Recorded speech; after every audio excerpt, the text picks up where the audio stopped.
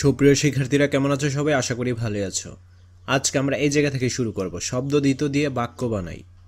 নিচের শব্দ দিতগুলো ব্যবহার করে বাক্য বানাও যে কোনো দশটি। কথাই কথাই টাপর টুপুর, রোজ রোজ ঝমঝম চুপ চুপ ছম ছম কনকনে, আশায় আশায়, ঘুম ঘুম ঠুক ঠুক ডং ডং ঘরট হাই হাই, ভুল টুল, ব্যাপার স্যাপার। তো চলো এখন আমরা এর অ্যান্সার স্ক্রিপ্টে চলে যাই। শব্দ দিত দিয়ে বাক্য তৈরি। কথাই কথাই মিথ্যা বলো না। টাপর টুপুর বৃষ্টি পড়ে। শু শু করে বাতাস বইছে। কে যেন দরজায় ঠকঠক করে করা নাড়ছে। ঝনঝন ঘণ্টার আওয়াজে আমরা ক্লাস থেকে বের হয়ে এলাম।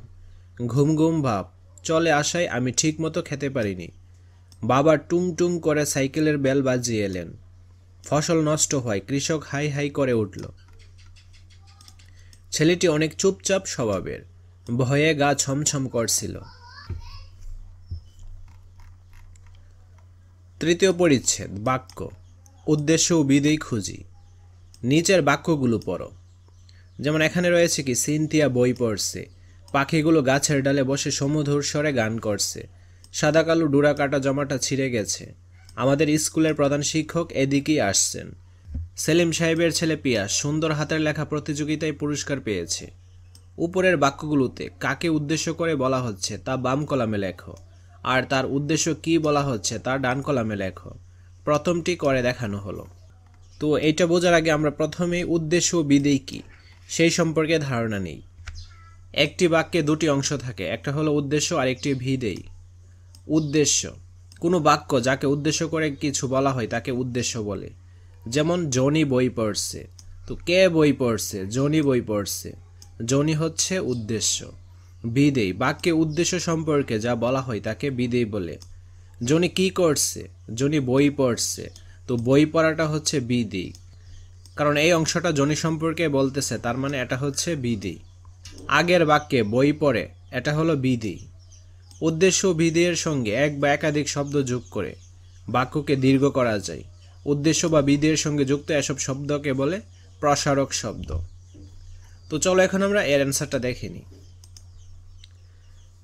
কাকে উদ্দেশ্য করায় বলা হচ্ছে? সিনথিয়া। কি বলা হচ্ছে? বই পড়ছে। পাখিগুলো। গাছের ডালে বসে সমুদ্র স্বরে গান করছে। সাদা কালো ডুরাকাটা জামাটা। কি বলা হচ্ছে? ছিঁড়ে গেছে। আমাদের স্কুলের প্রধান শিক্ষক। এটা হবে উদ্দেশ্য। কি বলা হচ্ছে? এদিকে আসছেন। তার মানে এটা বিদেই। সেলিম সাহেবের ছেলে পিয়াস।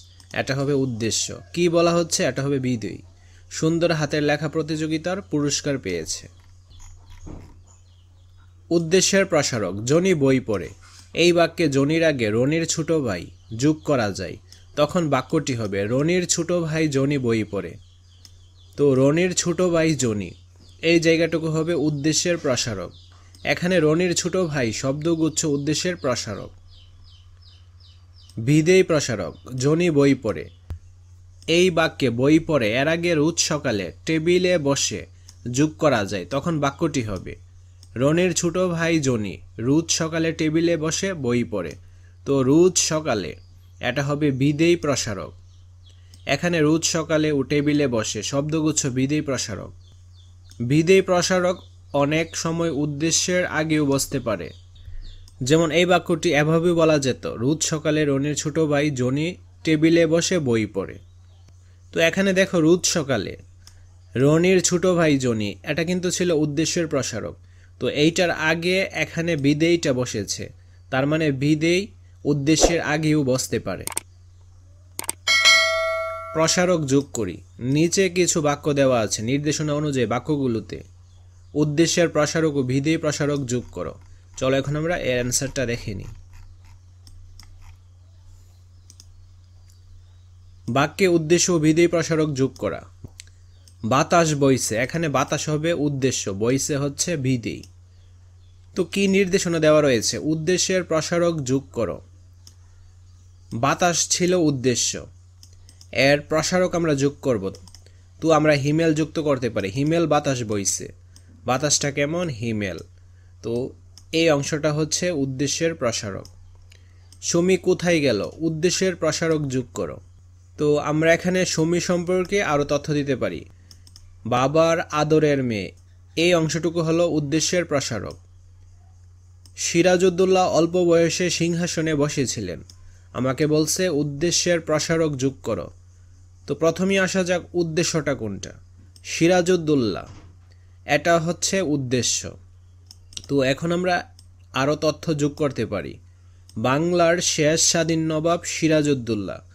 তো এতটুকু জায়গা হচ্ছে উদ্দেশ্যের প্রসারক। পাখি উড়ে।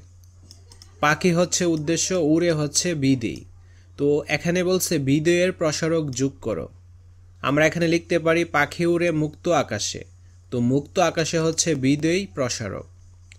সুন্দরবনের ভাগ কমে যাচ্ছে। বিদেয়ী প্রসারক যোগ করো। এখানে দেখো সুন্দরবনের ভাগ, এটা হচ্ছে উদ্দেশ্য। কমে যাচ্ছে, এটা হচ্ছে বিদেয়ী।